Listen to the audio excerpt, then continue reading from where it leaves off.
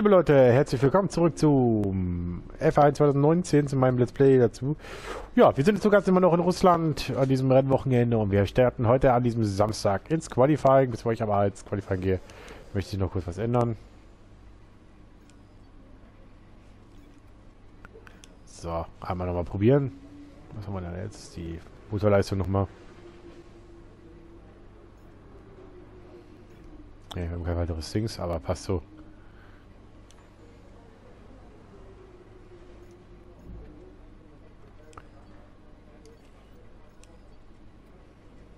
Ja, haben wir keine Meldung. Gut, dann sind wir, wir sind immer noch die schwächste, das schwächste Team offiziell. Gut, das wird sich wahrscheinlich auch nicht ändern. Aber gucken, wie es in der neuen Saison ausgeht. So, auf jeden Fall gehen wir heute rein ins Qualifikationstraining. Let's go. Wir wollen natürlich wieder eine Polo, zumindest für die Statistik.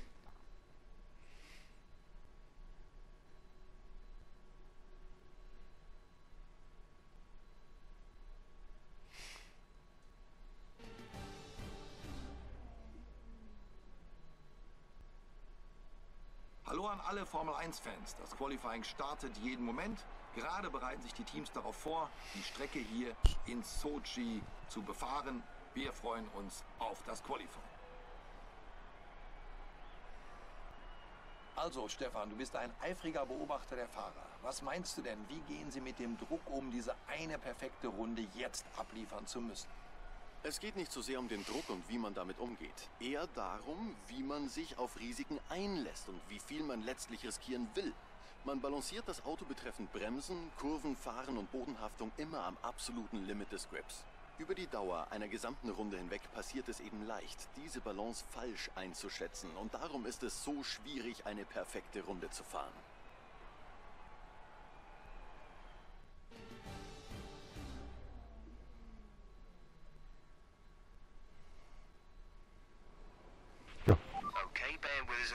Minutes. We're, um, we're losing hydraulic pressure. There's a leak somewhere in the system. Sit tight for a bit. Uhrzeit, äh, ja, wir können schon mal eine Runde setzen. Wir müssen eh zwischendurch warten. Ob wir die jetzt sitzen oder später sitzen, ist dann letztendlich egal.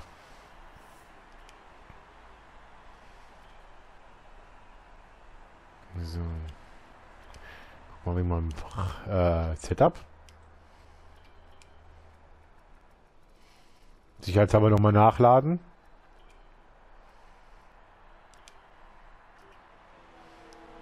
Und dann probieren wir es nochmal.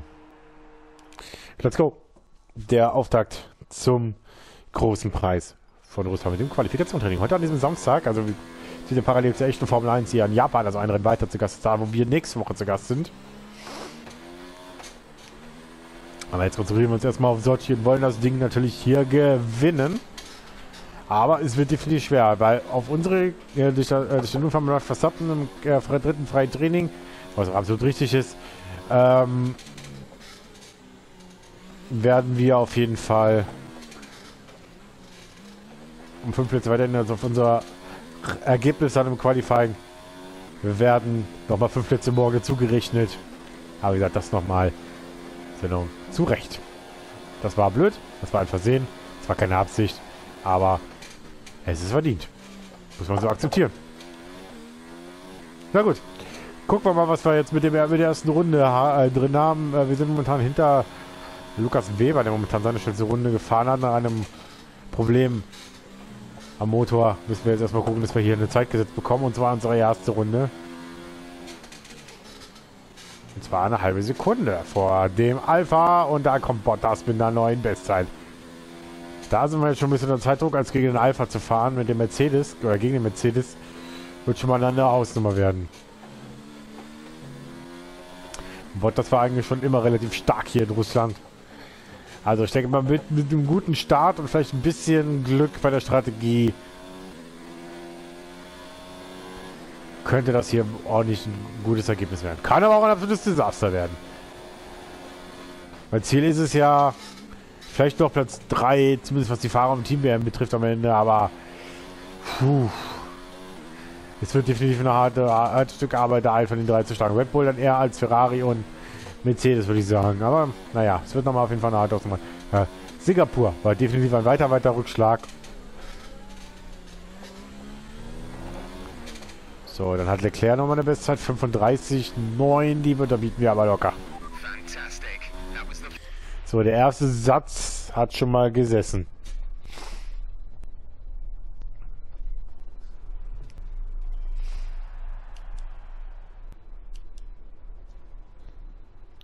Also nur minimal nicht im ersten Sektor vorne. Da sind wir noch zurück hinter Leclerc. Aber wir haben auf jeden Fall eine guten, gute Zwischenzeit. So, wir haben kein Auto auf der Strecke. Wir haben noch sieben Minuten Zeit. Einen werden wir auf jeden Fall noch setzen müssen.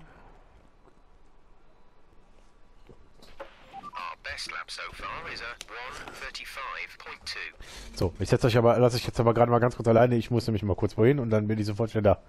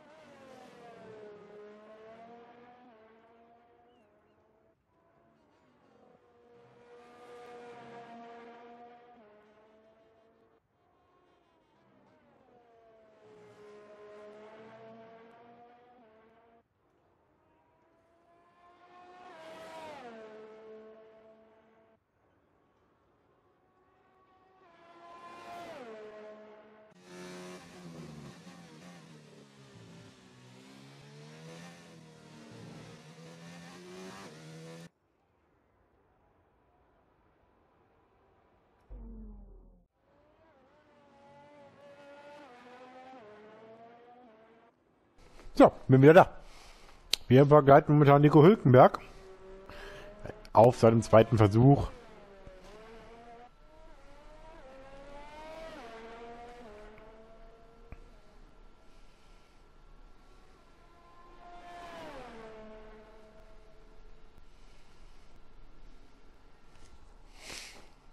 Aber wir schauen mal, was er für eine Zwischenzeit hat.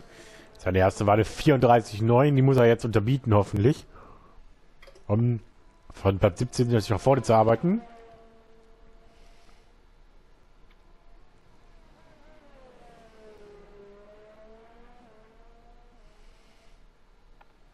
So, die kriegt da deutlich unterboten. 34,5. Wunderbar, das ist doch mal eine Zeit. 34,5 würde momentan vor Bottas stehen. Aber gucken. Dann würde er irgendwo hier rum, äh, hier verfahren. Platz 5, Platz 6 wäre seine Zwischenzeit momentan. Vielleicht brauchen wir gar keinen zweiten Versuch. Wenn alles gut läuft. Warum nicht?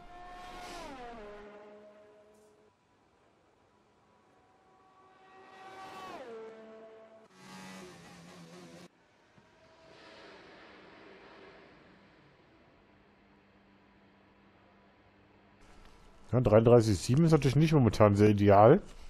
Die ist eher schlecht, die Zeit.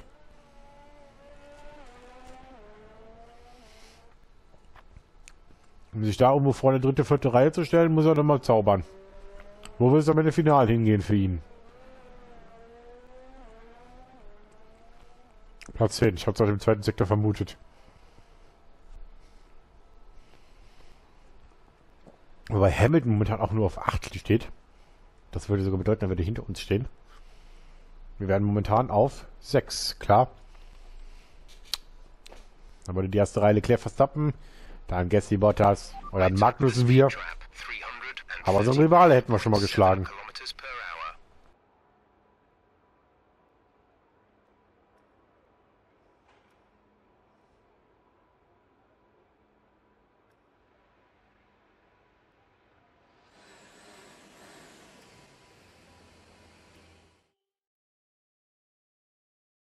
Wir gehen aber nochmal auf die Strecke.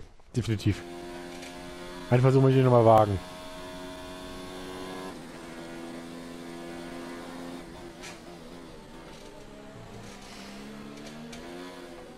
So, vor uns ist ein Red Bull und es ist Verstappen. Und hinter uns ist Gasly, okay. Also wir haben sitzen momentan im Red Bull Sandwich.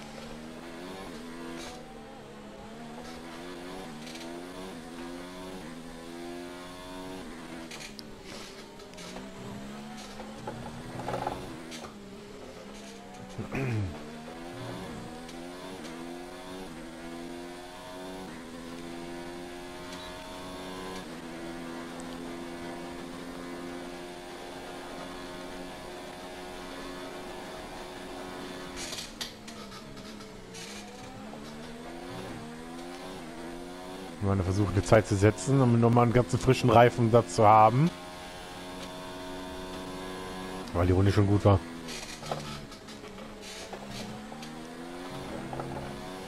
Mit ein bisschen Schwung nehmen wir jetzt mit. Gegen Max. Erster Sektor schon mal violett.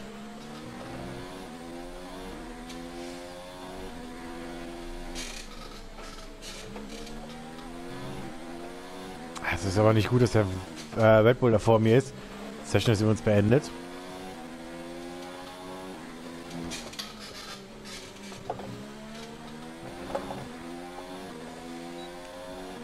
So, ich muss jetzt an dem Auto vor mir vorbei.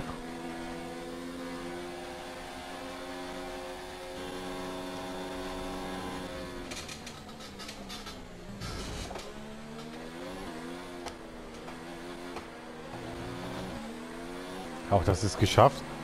Es war wichtig, dass er an, dass an dem Auto an dem Red Bull vorbeigekommen bin. Der mich jetzt vielleicht ein bisschen alter aufhalten können.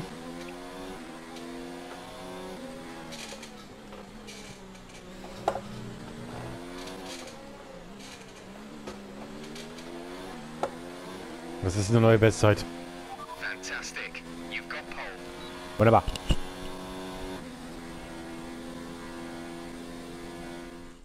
Qualifying ist beendet und wir werfen noch einmal einen Blick auf unsere Top 3. Richter, Bottas und Charles Leclerc. Mit dem Ende des Qualifyings ist unsere Startaufstellung nun komplett für das große Rennen. Seien Sie morgen unbedingt mit dabei, denn es wird zweifelsfrei ein fantastisches Event. Ja, es war aber gar nicht mal so unwichtig, die Zeit immer nachzusetzen. Ich glaube, ich hatte meine Nummer 300 zu Tag gesetzt. Also es war ganz okay. Es war wichtig. Aber ich stehe trotzdem auf 6. Also vorne die Bottas, Leclerc, Gasly, Verstappen in Reihe 2 und Hamilton und wir rutschen in Reihe 3. Ja, die Frage ist, was ist drin morgen, ne? Ob wir noch das Ding noch gewinnen können? Abwarten. Es wird definitiv ein hartes, hartes... auf der Strecke.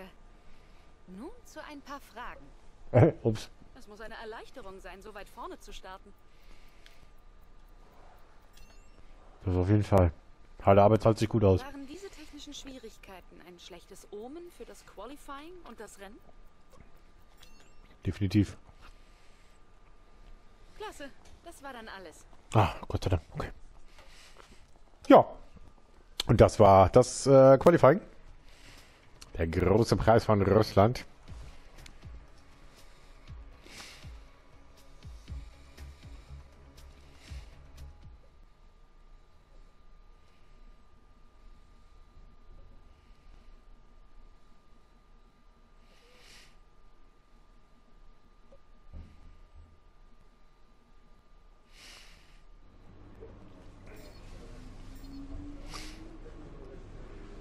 Fall liegen wir vor, der klar von George Russell.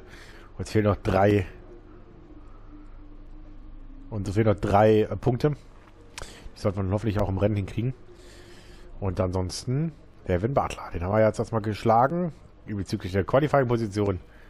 Und noch ein paar Punkte holen wir gleich im Rennen. Ja, Toros möchte ich jetzt gerne haben. Auf jeden Fall, die sind voll. So, Tja, leider haben wir ein paar Grid-Strafen erhalten. Mal wieder. Wir starten weiter hinten, als du vielleicht erwartet hättest. Wie schlimm es genau sein wird, hängt noch von den anderen Fahrern ab. Ja, wir werden sehen auf jeden Fall. Vielleicht kriegen wir doch noch eine Position etwas weiter vorne, was natürlich einfacher wäre. Weil auch bei den anderen Fahrern müssten mal so langsam auf die Grid schaffen kommen bezüglich der zusätzlichen Teile. Gut, das würde ich mal sagen. Wir sehen uns also wieder morgen um 14 Uhr im Rennen. Da zum großen Preis von Russland. Und da wollen wir natürlich mit Idealfall gewinnen. Aber es wird definitiv ein hartes Stück Arbeit von Platz 6 aus. Aber schauen wir mal. Wir machen das Beste draus. Bis dahin und auf Wiedersehen. Tschüss.